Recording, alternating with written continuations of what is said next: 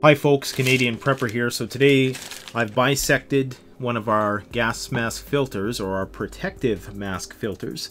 As a subscriber had commented on the last video, I've been calling them gas masks, but they're actually called protective masks because they protect against more things than just gases. So I'm going to try to not use the word gas mask throughout this video, but I probably will 10 times. So we've bisected one of these Mestel multi-purpose filters. This basically filters out everything. This is NBC, nuclear, biological, radiological, chemical, filters out everything.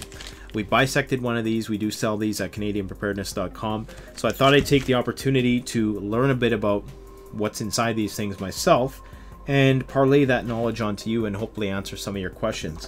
So these have the standard 40 millimeter NATO ports. These are going to fit most protective masks. I didn't say gas masks.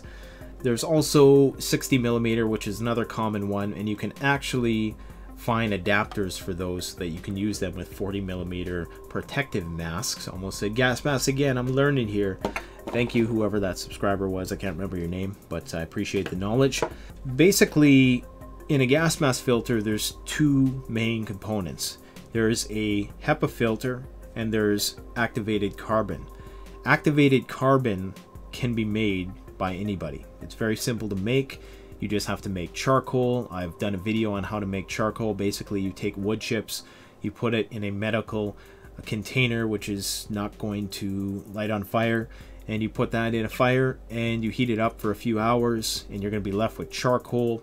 You crunch that charcoal down, you mulch it up, you mix it with sodium chloride and water, and you're going to get a paste, and then you let that paste dry out, and then uh, you're going to be left with activated carbon, and then you want to break it up into these granules. It's very important that you don't make it into a very fine powder because the only way air can pass through the filter is if it's in these decent size granules. So not quite a fine powder, but you want it to be broken up as much as possible.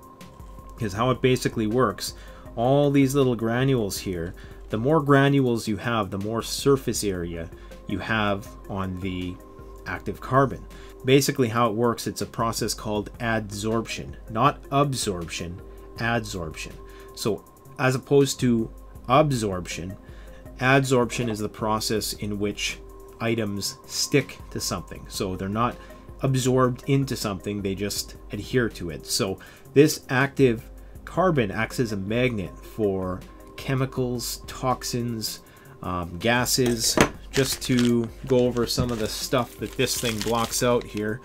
Uh, organic gases and vapors, inorganic gases and vapors, acid gases, ammonia, dust, fumes, and mists. And of course, the HEPA filter is going to provide uh, protection of very, very small particulates down to 0.001 microns or something to that effect. Uh, basically, it's going to prevent bacterias and viruses, bacterias, bacteria, and viruses from passing through the filter. So basically, that's all there is to it. It's a HEPA filter, and this thing is stocked with activated carbon.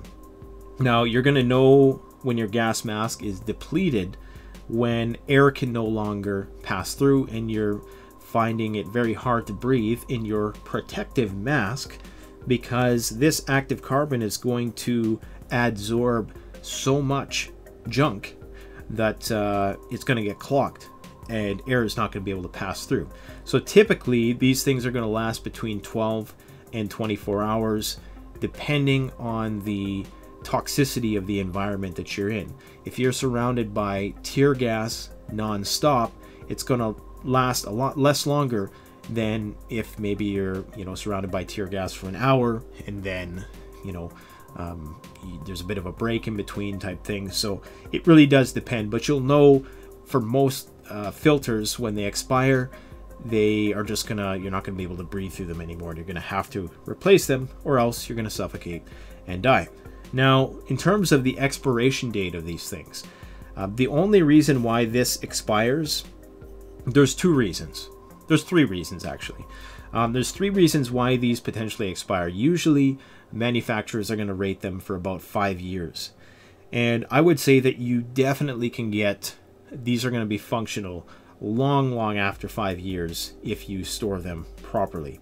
The reason why they're going to degrade is because even though when we send them to you, there's a cap on the end here, as you can see, and then there's there's another um, cap on that side of the filter. And so I'd say they're sealed probably to like 99%. 99% of the oxygen can't get in. But there's that 1% that can. So if you're storing this around other chemicals or, you know, just uh, everyday vapors that are in your household when you're cleaning or something like that, it's slowly over time going to be adsorbed by the active carbon in here. It's going to take a long time. So we send them out to you. They're sealed. They're in these plastic bags. What I would recommend to extend the longevity of your filters is to vacuum seal them or go a step further and to even vacuum seal them in mylar. I'm not sure if an oxygen absorber would have any negative effect if you were to throw that in there. I don't think it would. As far as I know, maybe somebody in the comment section knows whether or not putting an oxygen absorber in if you were going to vacuum seal this would affect the the chemical reaction of this stuff. And I think if you do that, you're gonna these are gonna last a lot longer. Now the other two parts that could potentially degrade are the HEPA filter, the paper. But like I said, so long as that is totally sealed, I, I can't see this uh, degrading too much over time. Uh, this is the main thing that you're going to be concerned about. But again, if you're talking about viruses, bacteria, things of that nature, then you're going to want this HEPA filter to be fully functioning. There's also another component of this, and that's the glue, which attaches the HEPA filter to this metal housing.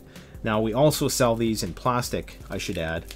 Uh, so in that case, it would be glue adhering to plastic housing. And that glue can also degrade over time.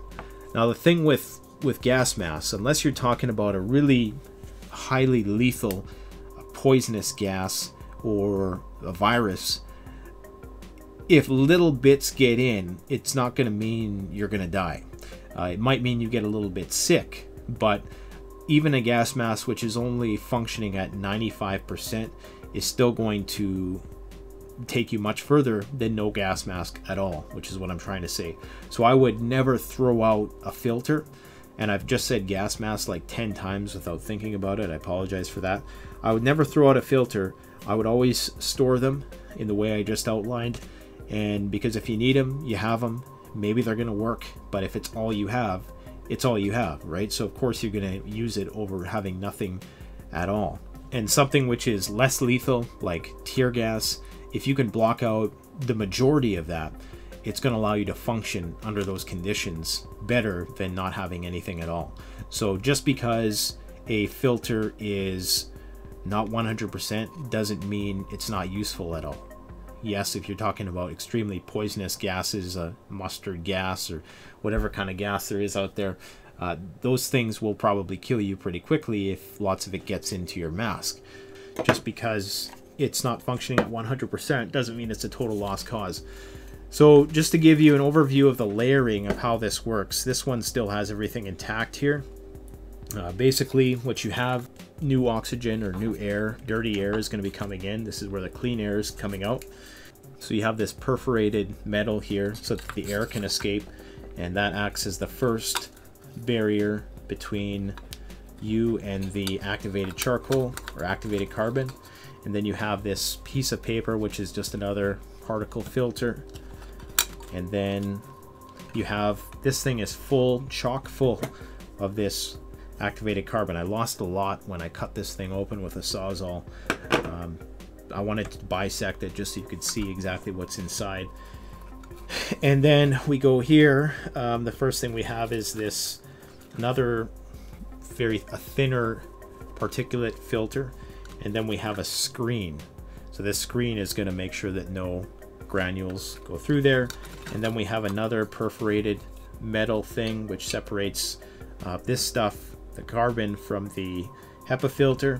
And then there's just this plastic gasket or whatever you want to call it uh, that's in between the HEPA filter and the metal housing or the plastic housing and there's a few holes in there and that's where the dirty air is going to come in. So it first meets the HEPA filter, then it goes to the activated uh, carbon, and then you're breathing fresh air.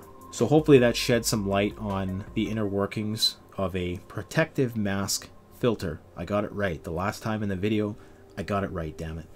Uh, let me know if you have any questions in the comment section. If there's anything that I've missed, feel free to add that. There's a lot of knowledge out there, so let's share the knowledge. Let's learn about these things together. You can make your own filter using this process. That's something you should be aware of also.